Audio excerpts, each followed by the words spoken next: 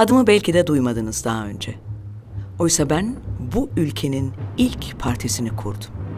Evet, Cumhuriyet Halk Fırkası'ndan ve hatta Cumhuriyet'in ilanından önce Kadınlar Halk Fırkası'nı kurdum. Tarih 15 Haziran 1923'tü. Kadınlar Halk Fırkası, kadınların oy hakkı ve siyasal hakları için mücadele ediyordu.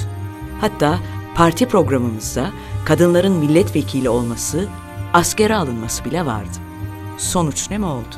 Tam 8 ay sonra partimizin kurulmasına izin verilmediği gibi bir de bölücülükle suçlandık. Elbette pes etmedim, yılmadım. Bu kez Kadınlar Birliği'ni kurdum. Sonraki yıllarda ismimiz Türk Kadınlar Birliği oldu. Çeşitli güç odakları bizi küçümsemeye, bizimle alay etmeye çabalaya dursun, biz kapsayıcı bir dille hak mücadelemizi sürdürdük. 1926 yılında Cumhuriyet Halk Fırkası'na üye olmak için başvurdum ve reddedildim.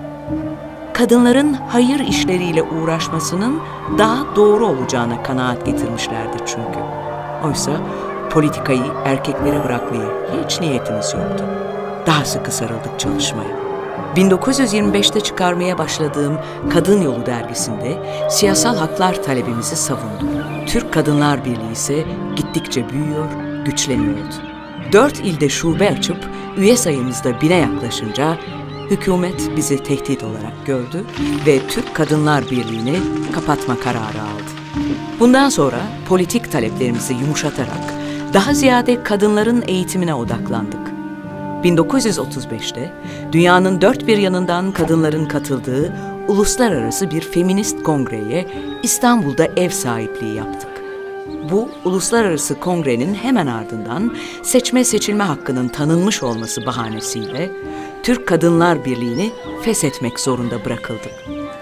Sonrasında kendimi yazmaya verdim. 20 roman, 300 öykü yazdım.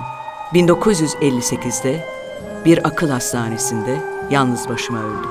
Unutulduğumu düşündüm. Sahi, siz unuttunuz mu? Biz kadınlara verilen hakları anlatıp minnettar olmanız mı bekliyorlar sizden?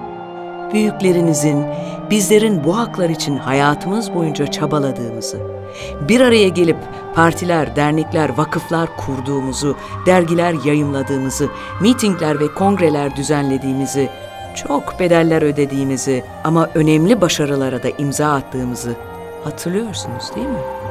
Ben hep kendi mefkurem yani ülküm olarak bildim kadınlık mefkuresini, feminizmi. Dışlandık, aşağılandık, küçümsendik, şiddetin türlü türlüsüne maruz kaldık ama yılmadık.